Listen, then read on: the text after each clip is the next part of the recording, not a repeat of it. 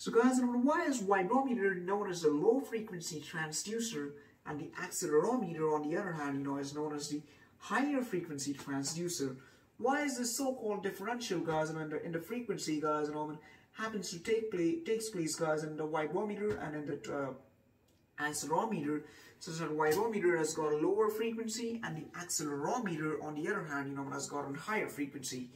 So, in order to know more about it, guys, and let us uh, is in fact revisit our old videos. By the way, in case if you still have not subscribed to my channel, guys, and you know, please do, please do it. You know, with uh, without any further delay and stuff. You know, and you know, which is obviously you know going to inspire and motivate me more, guys. You know, to make all these videos and you know pronounce these things to you. So guys, you know, as I've already you know told you guys that when it comes about the differential of the frequency, guys, you know, what we get to deal with the vibrometer and accelerometer the reason why, you know, what it actually, you know, takes place is, because that uh, the, the variation in frequency, guys, when it takes place because of some, uh, takes place because of some uh, really fundamental reasons, guys, such as uh, the lower frequency, guys, you know, is present in vibrometer, guys, you know, because vibrometer, you know, happens to have that so-called capability, guys, you know, to measure uh, the displacement, the acceleration, and the velocity, guys, you know, in a so-called vibrating, uh, vibrating element, or rather than vibrating um, eventuality. So guys, because of this so-called limitation, guys, you know, I mean that uh, frequency, uh, the frequency, you know, really matters, guys, you know, uh, when it comes about it. And uh, guys, you know, on the other hand, you know, while getting to gotta deal with accelerometer, guys, the accelerometer, guys, and what it really measures is the uh, element of acceleration, guys, or rather the potential of acceleration, guys, you know, I present in that system. So guys, you know, the reason, you know, why the accelerometer, you know, measures so much, guys, measures the potential of acceleration, guys, you know. This is why, guys, you know, the accelerator, guys, you know, has got an uh, higher frequency potential, guys. Because, guys, the uh, degree of often, uh, the, the degree of its often times, or rather, the often degree, or rather, uh, the degree of its oftenly occurrence, guys, seems to seems to be mattering, guys, at an initial stage also. And guys, the, the reason behind that is, guys, that obviously, uh,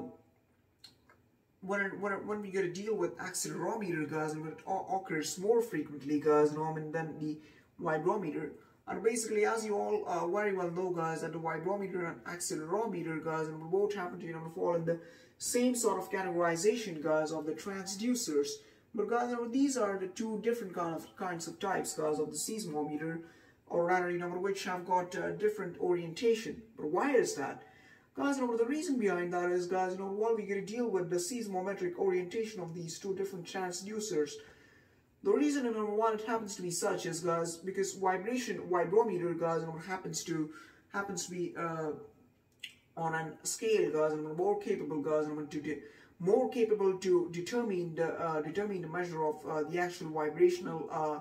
vibrational factors, you know, taking place, guys, you know, in a so-called element and the accelerometer guys on the other hand you know on the other hand you know can very well determine uh can very well determine only the acceleration potential guys you know in a so-called equipment in a so-called system guys you know, which is uh, which is in fact you know vibrating. And uh, as I've already told you guys that the vibrometer that the vibrometer the accelerometer even the seismometer even the signal transducer even the so-called um, uh, so-called tachometer guys and as we have even uh, studied about tachometer guys you know in our previous videos. You know it happens to be really essential guys and while we get to deal with this so-called uh,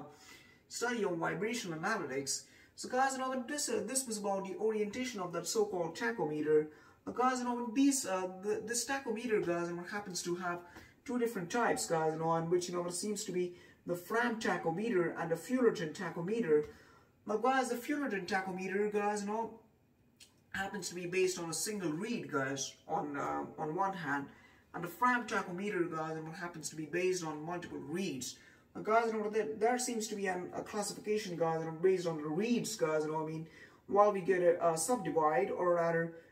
perform a demarcation between the, uh, demarcation between the Frahm tachometer, or rather the uh, tachometer, now guys, you know, this so-called demarcation, you know, happens to be absolutely crucial for us, you know, I mean, to study, uh, study more about, uh,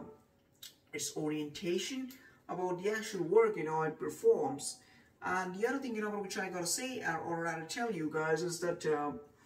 the Fullarton tachometer, guys, you know, is uh, wide, is used on a wider scale, guys, you know, as in comparison, you know, I mean, with that so-called Frahm tachometer. Frahm tachometer is just, you know, I mean, uh, confined, guys, you know, into laboratory use because, guys, you know, Fullarton tachometer is in fact, you know, used for the, uh, for the purpose of uh, that beam analysis or that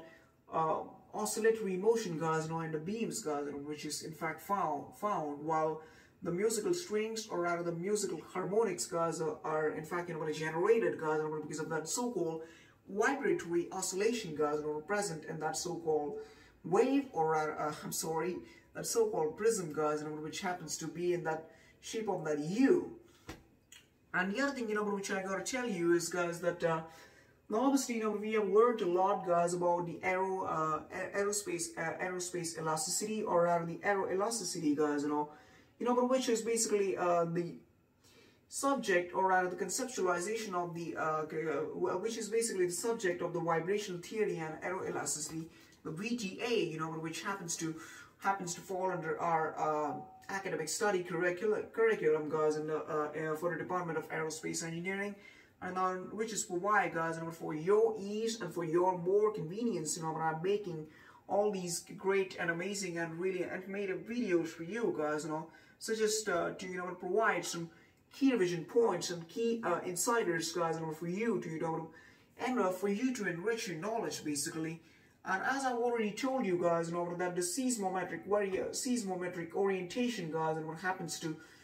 be an essential criterion, guys, and for uh, basically demarcating two different typicalities of transducers, guys. So, guys, you know, two different typicalities of a transducer, guys, are basically studied by the analysis of the the orientation of the seismometric uh, uh, orientation of the seismometer, or rather the seismometric orientation, guys, of it. A number which happens to say that, guys, uh, that the vibrometer, you know, falls in one certain categorization and the accelerometer, you know, happens to, you know, fall in the another categorization. Now, guys, you know, there's both, you know, seem to be signal transducers only. You know, what both both of these guys have got that uh, so-called principle or that so-called phenomenon of transduction of uh, transduction of energy or transducing of energy, or rather conversion of energy, you know, from one form into another, you know, which is the, which is in fact the wider definition of transducer or transduction. So guys, you know, this was about the seismometric orientation of those, uh, seismometric orientation of those things, uh, about that transducer. And uh, obviously, guys, while we get uh, learn, learn about vibration measuring instruments, guys, and we got to study about the tachometers, you know, which we know, guys, as the Frahm tachometer and even the Fullarton tachometer, guys, and which basically happens to be very much, you know, in our syllabus and you know, which happens to arouse a lot of interest, guys, of the aerospace engineers, guys, and working in the industry of uh, material design and engineering optimization, guys, in order to, you know, basically know us, you know, what all after effects or what all ill effects, guys, you know, are basically caused by that so-called oscillation, guys, you know, uh, onto an uh, aircraft. You know, while it travels at insane speeds, or rather uh, in the transonic regime, guys, so, which is why, guys, the theory of aeroelasticity and the theory of vibrations, guys, you know, is absolutely essential, guys, and you know, we study study about it. And uh, obviously, guys, you know, it even deals about it even deals with the simple harmonic motion, guys, you know, which uh, happens to be denoted by y equals a into sine omega t. So y equals uh, a into sine omega t, guys, and it seems to be one sort of a generalized equation, guys, and for that so-called simple harmonic motion. So guys, and while we get it, uh, while we get to study the wave motion, guys, and we gotta uh, deal with uh, different kinds of waves, guys. Maybe the sinusoids, maybe the sawtooth wave, maybe the heaviside wave, or maybe uh, the um, I'm sorry, uh, the zigzag wave, or rather the Laplacian wave. So uh, basically, those are not the things you know, for which you know, the vibration theory and aero, aerospace analysis is required. Because you know, that is certainly for sure you know required onto those uh, onto those another parameters guys. And while in fact you know studying the so-called durability of a so-called instrument uh, of a so-called equipment you know which is in fact you know used for the purpose of uh, um, purpose of fabrication, uh, fa fa for the purpose of its fabrication uh, in the aerospace fuselage, and even as a constituent material, guys, for, for, for the purpose of building of the aerospace, uh,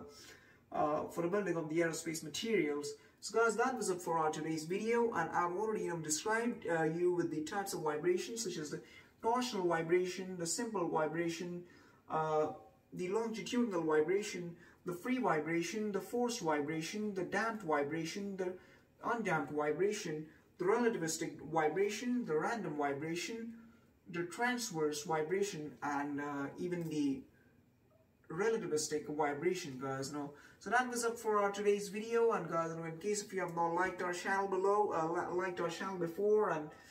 uh, if you're finding that uh, this so-called uh, content you know really enticing guys you know then please do it and please do it and you know please don't even share my so-called content you know with your friends you know in the engineering community and uh, engineering community and even in the medical community medical uh, of medical science. And more updates soon you know and i'll get back you know with amazing amazing episodes guys about our engineering and infographics guys and in aerospace engineering geothermal engineering even about uh, obstetrics and gynecology. And see you. Have an amazing day. And by the way jai hind and bharat mata ki jai and jai bhavani and jai shivaji bye guys